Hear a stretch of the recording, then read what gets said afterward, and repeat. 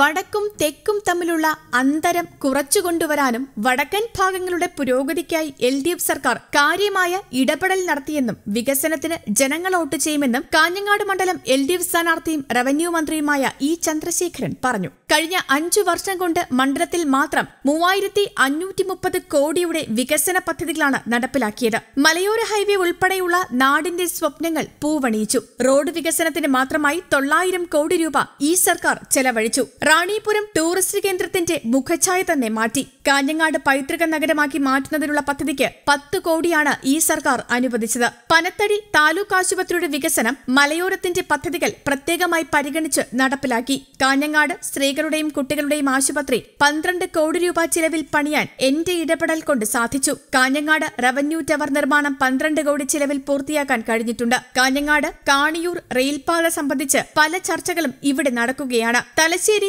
Mysore railway പാതയെക്കുറിച്ച് പറയാൻ തുടങ്ങിയിട്ട് അറുപത് വർഷമായി താൻ യുവജന സംഘടനയുടെ പ്രവർത്തകനായിരിക്കെ സമരം ചെയ്തയാളാണ്. ഇന്നും യാഥാർത്ഥ്യമാക്കാൻ കഴിഞ്ഞിട്ടില്ല.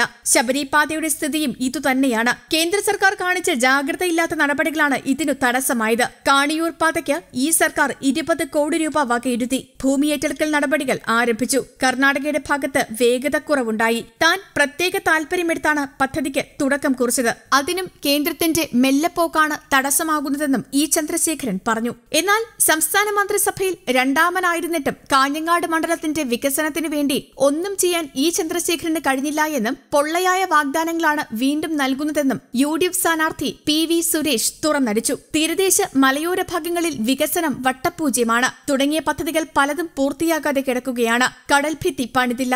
അജാനൂർ മിനി ഹാർബർ നിർമ്മാണം തുടങ്ങിയിട്ടില്ല.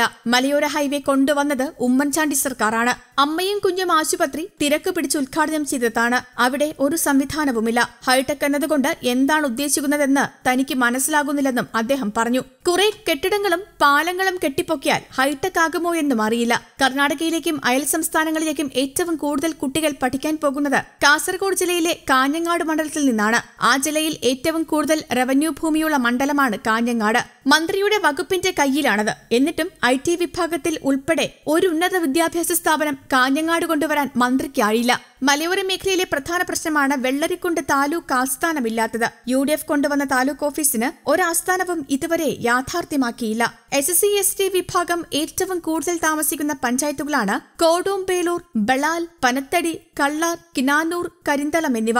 അവർക്കു വേണ്ടി കേസുകൾ കൈകാര്യം ചെയ്യാൻ ഒരു ഡിവൈഎസ്പി ഓഫീസ് സ്ഥാപിക്കാൻ നിവേദനങ്ങൾ പലതും നൽകിയിട്ടും മന്ത്രിയുടെ ഭാഗത്തു നിന്നും നടപടിയുണ്ടായില്ല. മലയോര പഞ്ചായത്തുകളിലെ കോളനികളിൽ കുടിവെള്ളക്ഷാമം വലിയ പ്രശ്നമാണിന്ന്. കുടിവെള്ള അനുഭവിക്കുന്നവർ വാഗ്ദാനങ്ങൾ കേട്ട് മടുത്തു എന്നാണ് പറയുന്നത്. അതിനായുള്ള പദ്ധതികളൊന്നും ഏറ്റെടുക്കാൻ അഞ്ചു വർഷം ഭരിച്ചിട്ടും കഴിഞ്ഞിട്ടില്ല എന്ന് പി വി സുരേഷ് ആരോപിച്ചു. News desk Kerala Kaumudi.